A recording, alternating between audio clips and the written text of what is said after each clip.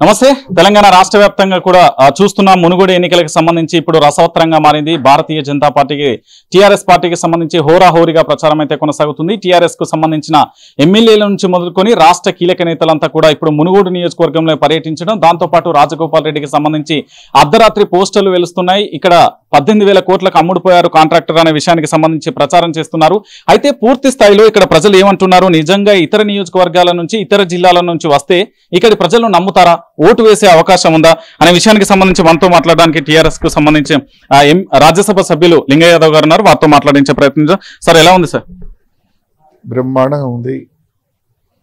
మునుగోడు నియోజకవర్గం మొత్తంలో సుమారు నలభై యాభై గ్రామాలు తిరిగింది నేను క్యాండిడేట్. ఎక్కడికి పోయినా కూడా మాకు మంచి ఆదరణ ఉంది. ప్రజాస్పందన ఉన్నది. ఖచ్చితంగా ఇన్ని సంక్షేమ కార్యక్రమాలు ఇస్తున్నటువంటి ముఖ్యమంత్రి ఈ భారతదేశంలో ఎవ్వరు లేరు. కాబట్టి ఒక్కొక్క ఇంటికి ఏడెనిమిది రకాల సంక్షేమ కార్యక్రమాలు పోతున్నాయి. రైతు బంధు కానీ రైతు బీమా కానీ కళ్యాణ లక్ష్మి కానీ ఉచిత కరెంటు కానీ రుణమాఫీ కానీ కేసీఆర్ కిట్టు కానీ ఆసరా పెన్షన్లు రెండు వేలు కానీ తర్వాత ఇక్కడ ఫ్లోరిన్ లేకుండా రూపుమాపినాం మేమే ఈ నాలుగేళ్ళలో వాళ్ళ కేంద్రంలో ఉన్న బీజేపీ ప్రభుత్వమే క్లీన్ చిట్ ఇచ్చింది. క్లో ఫ్లోరిన్ రైత మునుగోడు ఫ్లోరిన్ రైత నల్గొండ అని.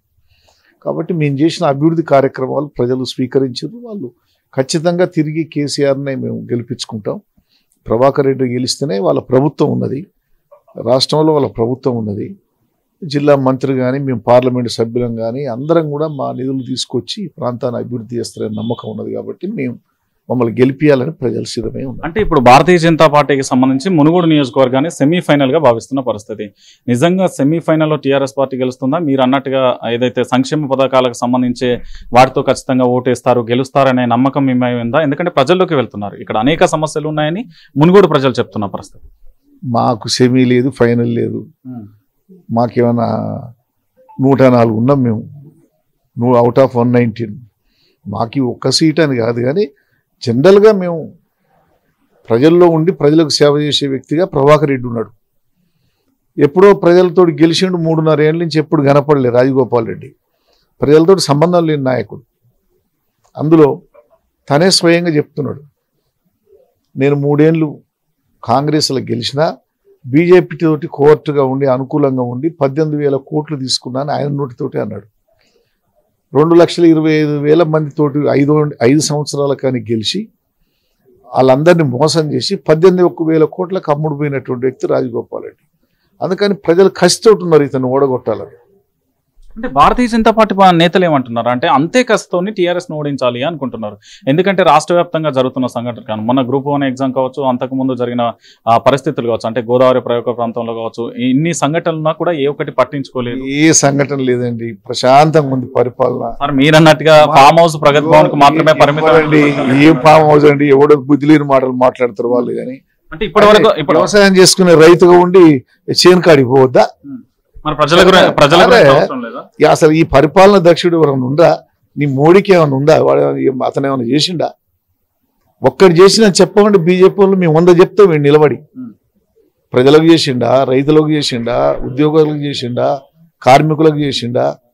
మొత్తం ప్రభుత్వ రంగ సంస్థలు మొత్తం నాశనం చేసి ప్రైవేట్ పరం సార్, మాట- అంత ధీమా ఉన్నప్పుడు ఒక నియోజకవర్గానికి ఇంత మంది ఎమ్మెల్యేలు ఇంత ప్రచారం అవసరం అరే మేమేంది బాయ్ సాబ్ మాకంటే ముందు వాళ్ళే అమిత్ షా వచ్చే నడ్డా వచ్చే సెంట్రల్ మినిస్టర్లు వస్తుండ్రి స్టేట్ లీడర్లు అంతా వచ్చి మకాం వేసిర్రు. మేము రాజకీయ పార్టీది.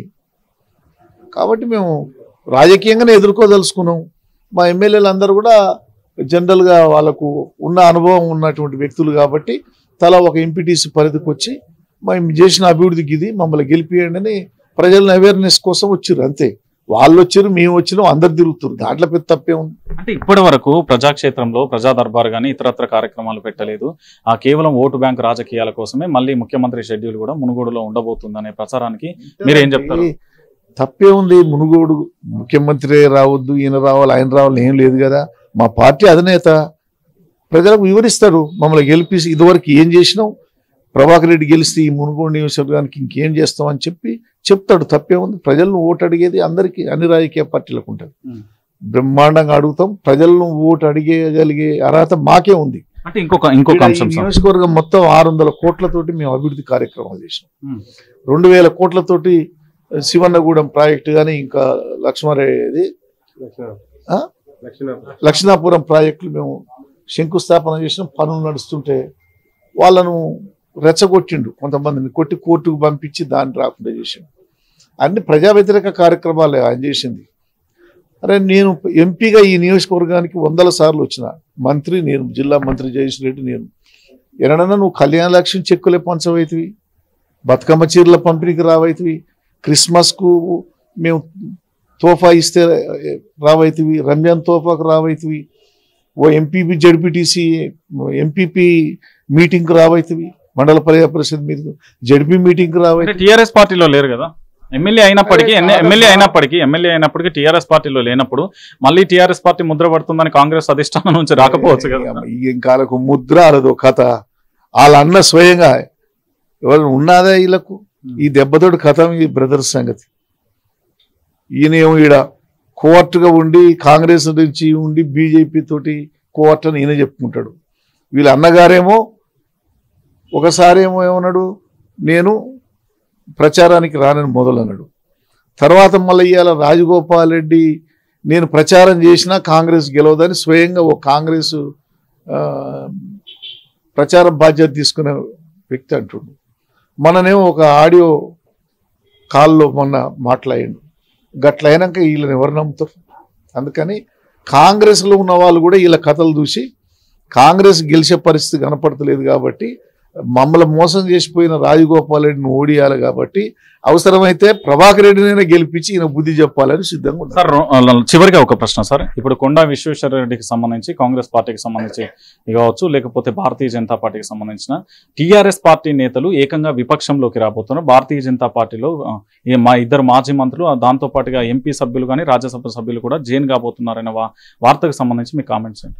ఎవరే గసుంటూ విశ్వేశ్వరరెడ్డిని నువ్వు అనేది ఆయన ఎప్పుడేం మాట్లాడారో తెలియదు ఎండ్లకు మారుతాడో తెలియదు ఆయన ముచ్చట మాకెందుకు అంటే ఆయన అందులో కూడా మా వాళ్ళు ఎవ్వరు పోరు పార్టీకి నిర్మాణాత్మకంగా ఉన్నటువంటి వ్యక్తులు క్రమశిక్షణ కలిగినటువంటి వ్యక్తులు కాబట్టి వాళ్ళు ఇంకెవడన్నా పోతారేమో భయంతో ఆయన ఆ మాట మాట్లాడుతుంది కానీ మాకు అవసరం లేదు. బ్రహ్మాండంగా ఉన్నది. అంటే మరిన్ని చేరికలు ఉండే అవకాశం ఉంటుందా టీఆర్ఎస్ దానికి ఇప్పుడు వాళ్ళు స్వచ్ఛందంగా వచ్చి చేరితే మనం చేసేది ఏముంది? ఇవాళ స్వామి గౌడు ప్రలోభ పెడుతున్నారనే ఆరోపణలు ఉన్నాయి కదా? స్వామి గౌడు ప్రలోభ పెట్టాలనే అన్ని తెలిసినోడు. భవిష్యత్తులో ఎమ్మెల్సీ ఉద్యమకారుడు తర్వాత శ్రవణ్ దారు శ్రవణ్ వీళ్ళంతా మేము ఉద్యమకాంచి ఉన్నోళ్ళం. మేము తెలిసో తెలియకుండా బీజేపీకి పోయినాం. జాతీయ పార్టీని నమ్మినాం. వాళ్ళకు ప్రజలను పట్టించుకోరు. మా కోఆర్డినేషన్ లేదు అని బూడిద భిక్షమయ్య గౌడ్ గారు. అందరు వస్తుండ్రు. ఉద్యమంలో ఉన్నటువంటి వ్యక్తులు కాబట్టి ఈయన స్వాగతించండు. మా ముఖ్యమంత్రి గారు స్వాగతించండు. దాంట్లో మాకు ప్రలోభం అక్కరే లేదు. ఉన్నోళ్ళమే కిటకిటలాడుతుంటే మాకు. మేము మీరు బ్రహ్మాండమైన మేడతోటి గెలుస్తాం. ఏం బాధ తమ్ముడు. Right thank you sir thank you very much చూసారు కదా టీఆర్ఎస్ పార్టీకి సంబంధించి ఇక్కడ కీలక నేతలు మొత్తం కూడా మకాం వేయడం ఆ పార్టీలకు సంబంధించిన అభ్యర్థులకు కోసం ప్రచారం చేస్తున్న పరిస్థితి. ఇక టిఆర్ఎస్ పార్టీకి సంబంధించిన వ్యక్తి కుసుకుంట్ల ప్రభాకర్ రెడ్డిని ఖచ్చితంగా గెలిపించుకుంటామంటూ కూడా ఆ పార్లమెంట్ సభ్యులు చెప్తున్న పరిస్థితి. మొత్తంగా ఏం జరుగుతుందో మనం కూడా వేచి